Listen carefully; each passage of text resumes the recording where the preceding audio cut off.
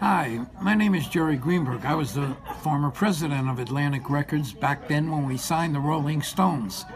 I have to say, this is the closest thing to the Rolling Stones you're ever going to see.